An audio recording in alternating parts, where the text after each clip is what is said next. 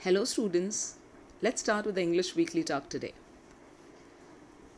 इस English weekly talk में आज के इंग्लिश वीकली टॉक में मैंने स्पेसिफिकली एक ऐसे एस्पेक्ट पे ज़्यादा फोकस करने की कोशिश की है कि वो एस्पेक्ट आपकी इंग्लिश की लाइफ लाइन है what you call it's the heartbeat it's the main reason why english can exist in you or within you you can say तो ऐसी कौन सी चीज़ है जो इंग्लिश की सबसे इंपॉर्टेंट चीज़ है जिस पे आज हम डिस्कस करेंगे? जिसके बिना आप किसी भी कॉम्पिटेटिव एग्ज़ाम्स का किसी भी कॉम्पिटेटिव एग्ज़ाम का इंग्लिश क्रैक नहीं कर सकते। लेट्स गो कि ऐसी कौन सी चीज़ें देखते हैं। This week we are go for reading week i mean to say reading is the most most most important aspect for cracking any competitive exam with respect to english. Now what exactly is reading इस पर discuss करते हैं। Reading is as simple as a physical activity जिसको हम कहते हैं वाचन। Reading एक सिर्फ़ फ़िज़िकल एक्टिविटी है। इसमें अंडरस्टैंडिंग का कोई कनेक्शन नहीं है। मैंने क्यों ये लिया कि वॉट एग्जैक्टली इज़ रीडिंग क्योंकि बहुत सारे बच्चे मुझे मैसेज करते हैं कि मैम मैं दिन में से दो घंटे पढ़ रहा हूँ, मैं तीन घंटे पढ़ रहा हूँ, मैं छः घंटे पढ़ रहा हूँ, मैंने दो दिन में सुधा मूर्ति जी की किताब ख़त्म कर दी। That's good that's really good but now let me tell you are you understanding it that's a different aspect reading and understanding are two different words and they are completely they are completely much far away from each other reading doesn't mean that you are understanding everything what you read for example students मैं मराठी अच्छे से जानती हूँ हिंदी अच्छे से जानती हूँ इसी वजह से मैं संस्कृत पढ़ सकती हूँ लेकिन मुझे हर चीज़ संस्कृत की नहीं समझती तो पढ़ना और समझने में बहुत बड़ा अंतर है तो ये आप मुझे मत कहिए कि मैम मैं पढ़ रहा हूँ। पढ़ना is something you know it's just a physical activity second the difference between reading and understanding are they same absolutely they are they are two different words and there's a huge difference between them I just now gave my example कि मैं संस्कृत सिर्फ़ पढ़ सकती हूँ। मुझे संस्कृत ज़्यादा समझ में नहीं आती क्योंकि मेरे पास क्या कम पड़ती है संस्कृत की? वो कैबलरी यानी रीडिंग को अंडरस्टैंडिंग से जोड़ने वाला एक ब्रिज है जिसका नाम है वो vocabulary I repeat again let's go for this way reading को अंडरस्टैंडिंग से जोड़ने वाला एक ब्रिज है, जिसका नाम है वोकेबलरी यानी अगर आपकी वोकेबलरी अच्छी है तो आपको हर पढ़ी हुई चीज़ समझेगी. लेकिन अगर आपके पास वोकेबलरी नहीं है उस भाषा की तो आपको हर पढ़ी हुई चीज़ समझेगी नहीं. Okay now let's go for the next part. After reading for last six months, still no improvement in score, definitely बच्चा, अगर आप सिर्फ़ पढ़ा, पढ़ने के लिए पढ़ रहे हो, समझने के लिए नहीं पढ़ रहे हो, या वोकेबलरी बढ़ाकर समझने की कोशिश नहीं कर रहे हो चीज़ों को तो स्कोर में इम्प्रूवमेंट नहीं दिखेगा। एक और बेसिक फंडा है जो मैंने क्लास में अपने हर लेक्चर में लेती हूँ and for which S S A stand unique is the concept of G S T which I T और एल स्टूडेंट्स अगर आपको इसका कॉन्सेप्ट समझ में नहीं आ रहा है तो आप इतना भी करो। आपने जो भी पढ़ा, अगर आप उसको लिख सकते हैं, इसका मतलब वो चीज़ आपको समझी। मैडम, मैंने पढ़ा, लेकिन मैं उसको बोल सकता हूँ। बोलने से मैं आपकी अंडरस्टैंडिंग नहीं जज कर पाऊँगी। अगर आपने कोई भी एक पैसेज पढ़ा पैराग्राफ पढ़ा, आपने कोई भी टॉपिक पे कोई चीज़ पढ़ी, आपको उसको लिखना आना चाहिए। If you are able to write if you are able to summarise what you have read it means you have understood it the benefits of reading reading ना ही सिर्फ़ आपको इंग्लिश क्लियर करने में मदद करेगा कॉम्पिटेटिव एग्ज़ाम्स की। Reading ना ही फ़र्स्ट बेसिक क्राइटेरिया है कॉम्पिटेटिव एग्ज़ाम्स को क्रैक करने का इंग्लिश के but reading actually has been prove to be the best stress buster reading बहुत जल्दी स्ट्रेस को रिड्यूस करता है। क्यों? आई डोंट अंडरस्टैंड मतलब how is it possible psychologically कि रीडिंग तुम्हारा स्ट्रेस कम करेगा? Actually reading enhances your imagination वो तुमको एक कम्प्लीटली डिफरेंट दुनिया में लेकर जाता है। मुझे नहीं पता आपने ये चीज़ महसूस की है या नहीं बट कि बहुत सारे बच्चों ने महाश्वेता पढ़ी है सुधा मूर्ति जी की। जब आप महाश्वेता पढ़ रहे हो तो कितने बच्चों ने मुझे ये मैसेज दिया था कि, मैम, हम अनुपमा से अपने आप को रिलेट कर रहे थे। हम उस कहानी में अनुपमा के इतने खो गए थे कि हमने वो किताब एक दिन में कंप्लीट कर दी, हमने वो दो दिन में कंप्लीट कर दी, हमने वो चार दिन में कंप्लीट कर दी। और बहुत सारे बच्चों ने अल्केमिस्ट पढ़ी है पोलो कोलो की। तो जब आपने अल्केमिस्ट पढ़ी तो बहुत सारे बच्चे उस डेजर्ट के इन्वायरमेंट में खो गए थे। सो रीडिंग के बहुत बेनिफिट्स है students it not it will not only help for your English but it also be an important aspect of reducing your stress third reading actually makes you more intelligent yes reading actually makes you more intelligent how is it possible because reading again I say enhance is your imagination the moment your imagination your will that increases definitely your iq is seen to be enhancing because you can think over certain aspect or you can think over certain topic in different aspects you can say for example if i show you a pink rose अगर मैंने आपको pink rose दिखाया vision में मतलब visual effect visually तो आप उसको एक ही एस्पेक्ट में इमेजिन करोगे कि अरे पिंक रोज़ दिखाया मैम ने but if I say if I say that there is a rose there is a pink rose ना पिंक रोज़ को आप बर्ड फॉर्म में इमेजिन कर सकते हो, फुली ब्लूम रोज़ के फॉर्म में इमेजिन कर सकते हो मतलब आपका इमेजिनेशन बढ़ जाता है व्हेन यू रीड ना व्हाट टू रीड ना स्टूडेंट्स एक चीज़ याद रखो, जो स्टार्टिंग अभी कर रहे हैं रीडिंग के लिए या जिन्होंने अभी तक रीडिंग को ज़्यादा सीरियसली नहीं लिया है तो सबसे पहले मुझे लगता है कि शुरुआत अगर करनी है तो कहानियों से करनी चाहिए। Stories are something which will actually you know help you to get involve in reading तो मेरे हिसाब से अगर आप शुरुआत करना चाहते हैं तो सबसे पहले शुरुआत करें स्टोरीज से। और स्टोरीज़ के लिए सबसे बेस्ट किताब है सुधा मूर्ति जी की। उनकी किताबें में, किताबों में बहुत सिंपल वो कैबलरी है। काफ़ी इंटरेस्टिंग कहानियाँ हैं। ऐसी कहानियाँ जो आपको पकड़ के रखती हैं, बांधे रखती हैं।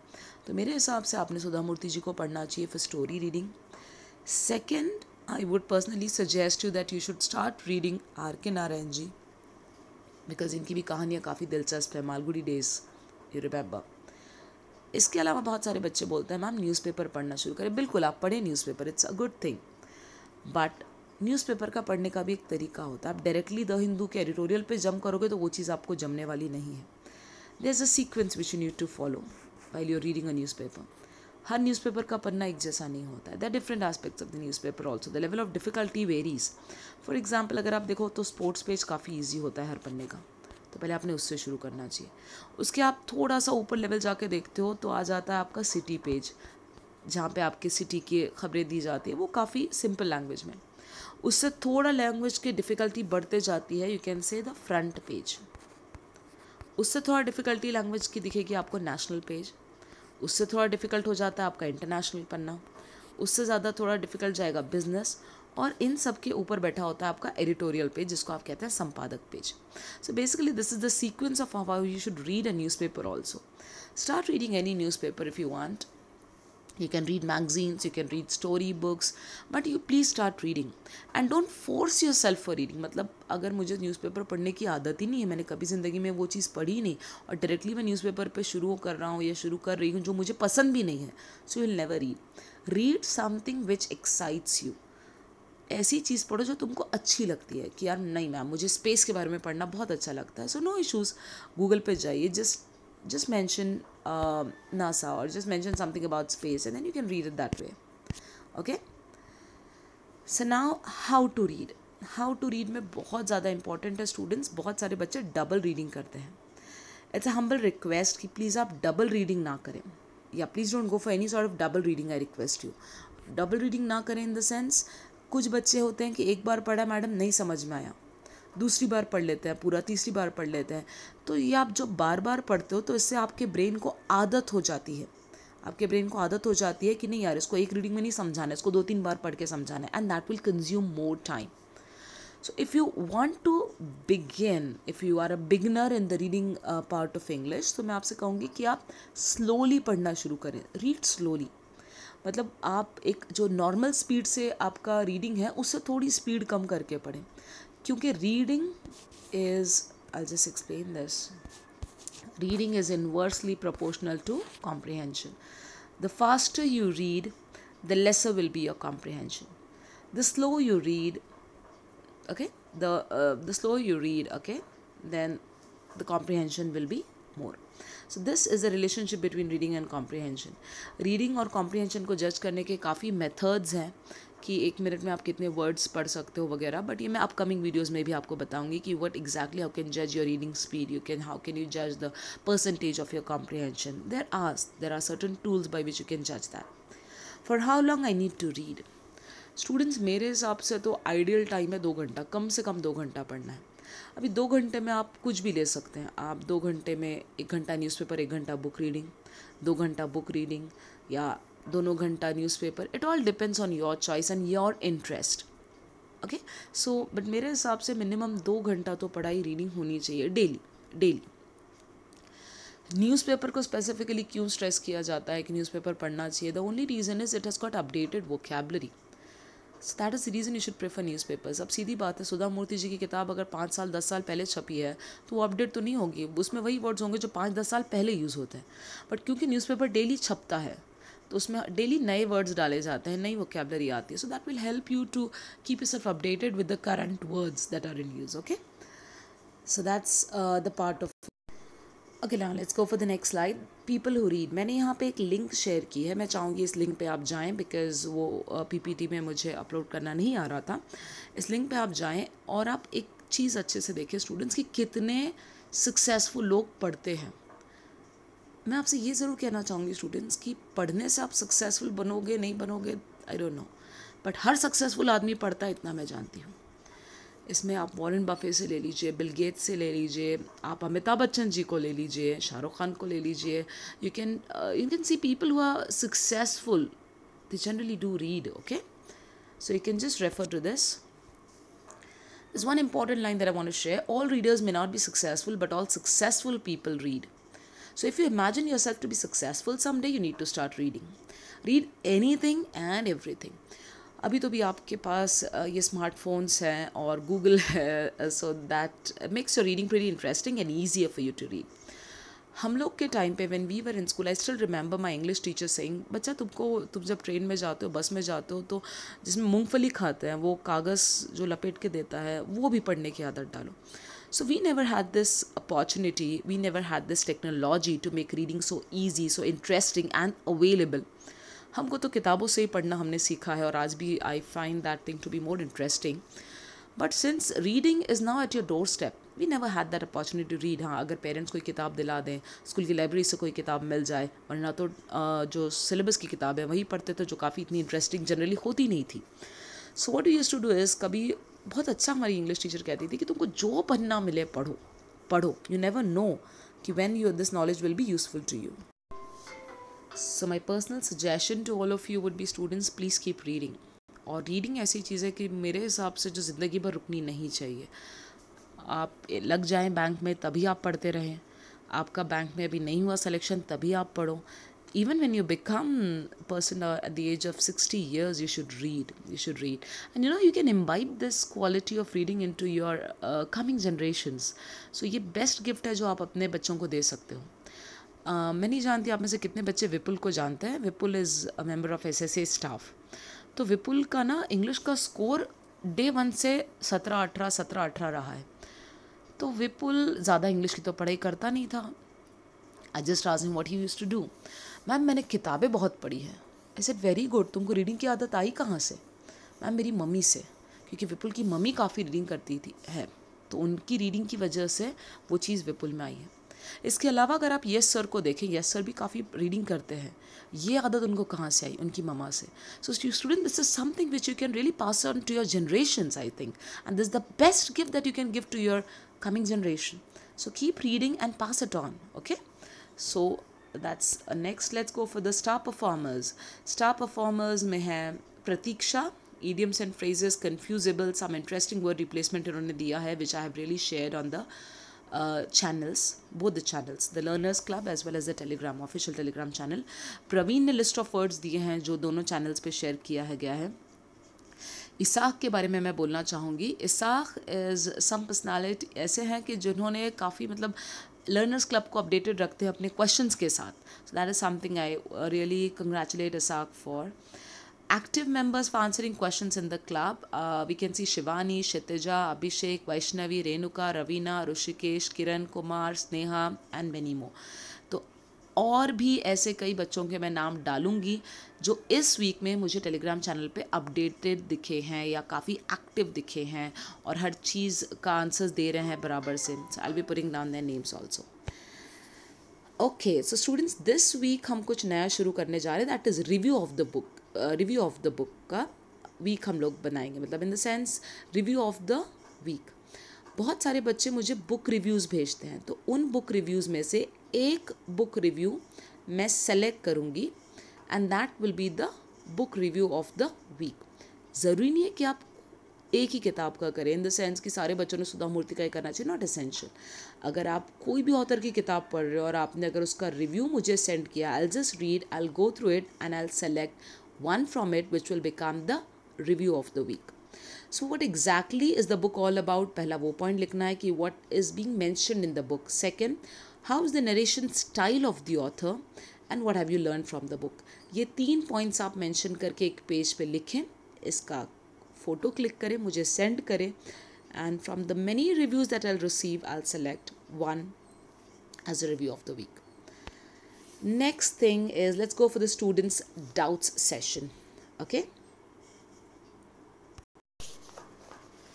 Okay students let's go with the first doubt. Shweta का ये डाऊट है की मॅम ग्रॅमरचे रूल लक्षात राहत नाही काय करायचं आणि कसं तो एक चीज़ आप समझ लो बच्चा कि ग्रामर के रूल लक्षात राहत नहीं इसके लिए मैं आपको एक सोल्यूशन बताऊँ।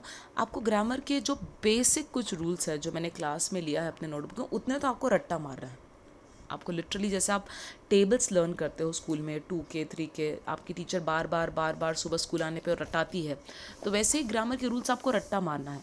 जो मैंने क्लास में लिया I think that will not make more than hundred तो वो सौ रूल्स तकरीबन है, वो आपको पूरे रट्टा मारना पड़ेंगे, जैसे आप टेबल्स लर्न करते हो फ़र्स्ट सेकेंड आप रट्टा मारने के बाद भी ऐसा बहुत बच्चों को होता है मॅडम रूल तर लक्षात राहतो पण त्याला अप्लाय कसं करायचं ते जमत नाही. ये मैं थोड़ा सा एक्स्ट्रा अपनी तरफ़ से बता रही हूँ, श्वेता ने नहीं पूछा लेकिन। तो स्टूडेंट्स जब आपको अप्लीकेशन नहीं जम रहा है तो एक चीज़ आप समझ लो। मैं आपको बता देती हूँ।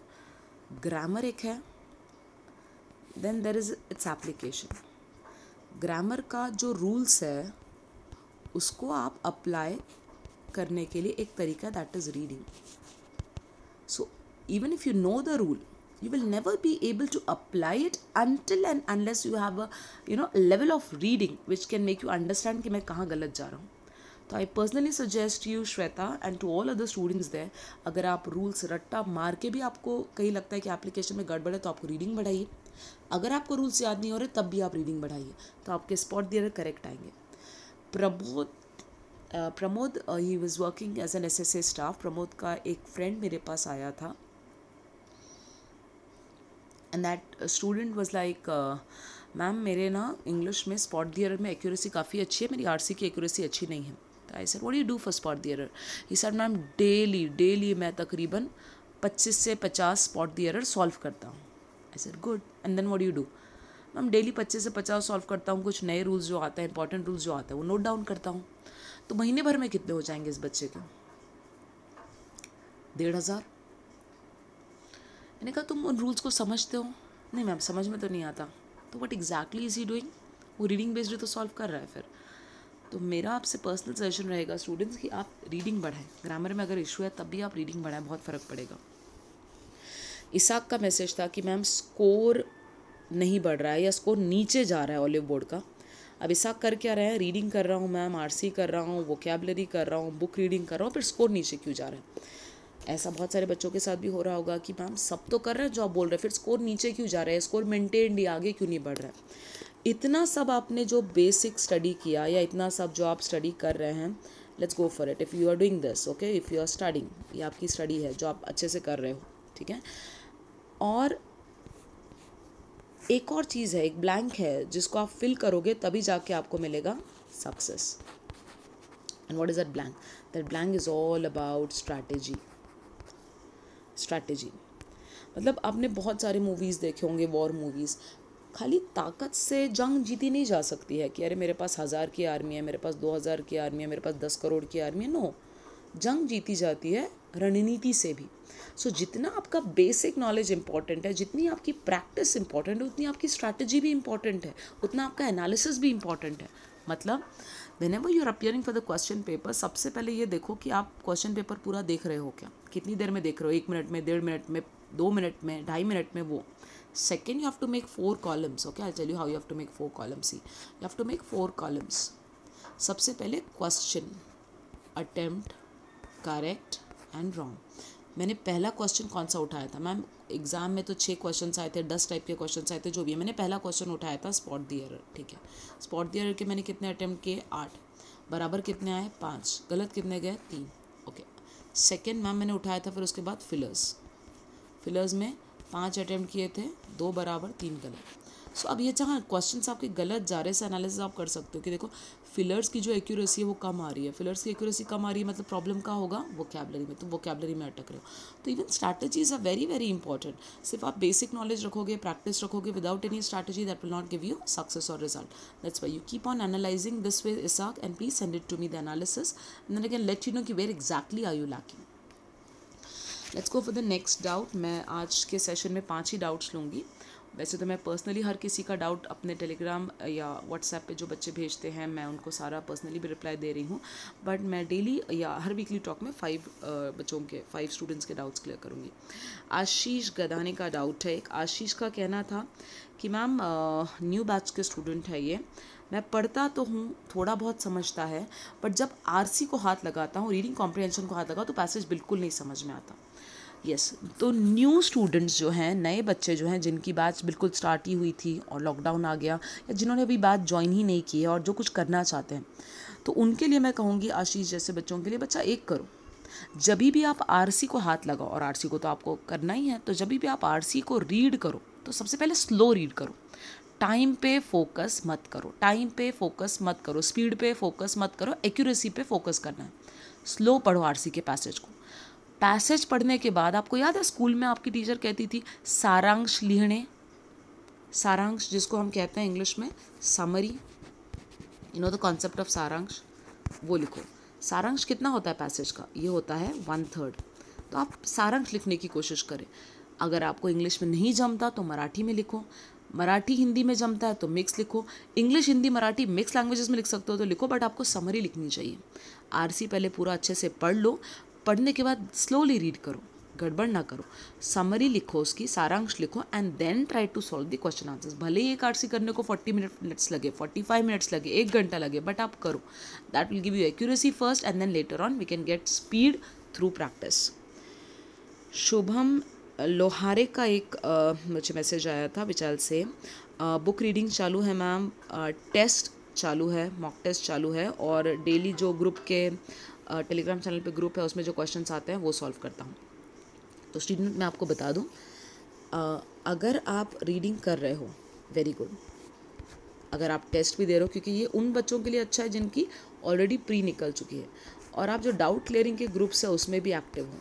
तो is that sufficient it's absolutely sufficient but इसमें एक एक छोटा सा सेक्शन मिसिंग है, Shubham and that is a section of vocabulary vocabulary तो मुझे लगता है आपने हमेशा करनी चाहिए। Should never leave leave this part this is something very very important so my personal suggestion will be if you are doing reading if you are doing giving the test if you going for the doubt clearing के जो session है, उसमें आप active हो, आप vocabulary मत छोड़ो, शुभम। और शुभम, जैसे और भी बच्चे जो रीडिंग पे ही ज़्यादा बाहर दे रहे हैं वोकेबलरी मत छोड़ो specially Gaurav. Enhance your vocabulary increase your vocabulary go for more synonyms and antonyms जिनको ऑलरेडी बेसिक इंग्लिश अच्छा लेवल है। Next question the next message is from Ankita मैं अंकिता के बारे में थोड़ा सा आपको बैकग्राउंड बता दूँ। Ankita is not a student of S S A Ankita S S A की स्टूडेंट नहीं है। इन्होंने काफ़ी क्लासेस uh, औरंगाबाद में ज्वाइन किए थे। And now she is in Beed अपने होम टाउन में। और अंकिता का मुझे एक कॉल uh, आया था कि मैम मैंने आपका बहुत सुना है। मैं आपसे बात करना चाहती हूँ। मैंने प्री दो ही एग्ज़ाम्स uh, में निकली है मेरी। मेंस नहीं निकल रहे हैं। और प्री में ऐसा हो जाता है मैम कि इंग्लिश का भी कट ऑफ़ नहीं निकलता है। मैथ्स एल में तो मुझे हंड्रेड परसेंट स्कोर है। तो मैं आपको एक छोटा सा बात बता दूँ अंकिता जैसे बच्चों के लिए कि जिनका इंग्लिश का प्री ही बहुत बड़ा डाउट में है, दिक्कत में है, उनको मैंने एक सिंपल टास्क दिया अंकिता को और अंकिता ने वो टास्क डेली मुझे सेंड किया टेलीग्राम पे व्हाट्सएप पे और पाँच से छः दिन, एक हफ़्ते के अंदर ही वो बच्ची का मुझे मैसेज आया, मैम मला असं वाटतं की माझी इंग्लिश का मतलब अंडरस्टँडिंग वाढते। So students, the basic game uh, for English about competitive exams, you can say is understanding. तुमको समझ ही नहीं रहा है सवाल तुम जवाब क्या दोगे? Right right? तो सेम थिंग अंकिता ने किया क्या और अंकिता को मैंने सजेस्ट क्या किया? अंकिता को मैंने दी किताब सुधा मूर्ति जी की the old man and his God और कहा कि इस किताब की हर कहानी पढ़ो उसकी समरी लिखो मुझे सबमिट करो। पहले दिन तो अंकिता ने वो कहानी को पूरा एज इट इज़ मराठी में ट्रांसलेट किया भेज दिया। सेकेंड ने मैंने कहा, बेटा, इसको ट्रांसलेट मत करो, इसका सारांश लिखो. सेकेंड उन्होंने एक दो पैरा कम किए, फिर भेज दिया। मैंने कहा, तीसरे दिन, बेटा, इसका सारांश चाहिए, मुझे दस लाइन से ऊपर नहीं। ठीक, तीसरे दिन वो बच्ची ने मराठी में ही दस लाइन लिखे। चौथे दिन, फिर मैंने कहा, इसमें अब इंग्लिश वर्ड्स मिक्स करो थोड़े से तो इंग्लिश मराठी में लिखा। And from then onward she is using more English words into the summary so thing is students if you are like कि नहीं मैम इंग्लिश का प्री भी नहीं निकल रहा है तो आई पर्सनली सजेस्ट यू कि start reading book and start drawing summaries from it okay start drawing, writing the summary from it let's go for the next slide okay let's go for the motivation part nothing changes unless you change क्या मतलब है इसका इस line का क्या मतलब है चलिए आज मैं इसका मतलब अपने आप के मेरे एग्जाम्पल्स आपको समझाती हूँ स्टूडेंट्स जब लॉकडाउन नहीं था, यानी starting from I think twenty before before twenty second March और बिफोर ट्वेंटी मार्च और बिफोर फिफ्टीन मार्च। तो पंद्रह मार्च, बीस मार्च के पहले I have been a working women throughout my career मतलब अब तक तो। तो मैं आपको ये बताऊँ, एक चीज़ मैं हमेशा से सोचती थी कि यार मुझे ना बहुत अपने हेल्थ पे फोकस करना है। एक बार थोड़ा मुझे अपनी प्रोफेशनल लाइफ से टाइम मिल जाए, मैं थोड़ा सा फ्री हो जाऊँ तो मैं ये करूँगी and then I get I can actually focus on my health आज कौन सी डेट है बच्चा? ट्वेंटी में अगर मैं पकड़ते हुए लॉकडाउन हुआ बीस मार्च से। कितने महीने हो गए? दो महीने। So from last two months मेरी प्रोफेशनल लाइफ बिल्कुल बंद है। Absolutely I am not going any way for the lecture बस एक्सेप्ट जो मैं थोड़ा एक दो घंटे, तीन घंटे जो आपको ऑनलाइन देती हूँ। बट मैं सच बोलूँ तो मैंने अपने हेल्थ पे बिल्कुल फोकस नहीं किया। रीज़न मुझे लग रहा था कि सिचुएशन बदलेगी तो मैं बदलूँगी। I was wrong I was absolutely wrong absolutely wrong जब तक मैं नहीं बदलूँगी सिचुएशन नहीं बदलेगी। बहुत सारे बच्चे ऐसे हैं जो आप कहेंगे, मैम, ये चीज़ तो हम समझते हैं। We realise this until unless I change nothing will change accepted इसको इम्प्लीमेंट कैसे करें? इसका सोल्यूशन क्या है? इसका इम्प्लीमेंटेशन का एक ही तरीका स्टूडेंट्स एंड द तरीका इज़ विल पावर लगाओ। डिसिप्लिन बनाओ अपनी लाइफ में डिसिप्लिन लाओ अपनी लाइफ में विल पावर लगाओ अपनी लाइफ में and then only you can see the change So I give you my own example, students. From last two months, I'm just giving excuses to myself. No, I have to focus on my health. I have to do this. I have to do exercise. I have to do this. I have to do that. But फिर समझ में आया यार जब तक उस चीज़ को मैं अपनी प्रायोरिटी नहीं बना लेती ज़िंदगी की उसको अपनी प्रायोरिटी लिस्ट में नहीं डाल देती मैं नहीं कर सकती उस चीज़ को एक्सरसाइजिंग और focusing on your health should be in your top list of priorities top five priorities में जब तक आता नहीं, मैं उस पर फोकस नहीं करूँगी, क्योंकि जब तक वो आपकी प्रायोरिटी नहीं बनती, आप उसके लिए समय निकालते ही नहीं हो। वैसे स्टूडेंट्स इंग्लिश को अपनी प्रायोरिटी बनाओ। तुमको वो पढ़ना है, तुमको वो पढ़ना है, तुमको वो इम्प्रूव करना है। It is a very interesting subject it's a very interesting language इसमें ऐसी कई किताबें हैं, काफ़ी दिलचस्प किताबें हैं, जिसको आप पढ़ोगे तो आपको लगेगा, यार, इस लैंग्वेज से मैं क्यों इतने दिन दूर था? So I personally suggest you students please bring the change in you because until and unless you change, nothing nothing nothing will change. और इसी टॉपिक पे रिलेटेड मैं आपको दो वीडियोस अपने इस वीकली टॉक के साथ अपलोड करी मैं चाहूँगी दोनों वीडियोस को आप एंड तक देखें। और एक चीज़ स्टूडेंट्स मैं अपने एक्सपीरियंस से कह रही हूँ until and unless you bring a certain thing in your priority list nothing will change nothing will change so wish you all the very best students keep starting keep rocking thank you so much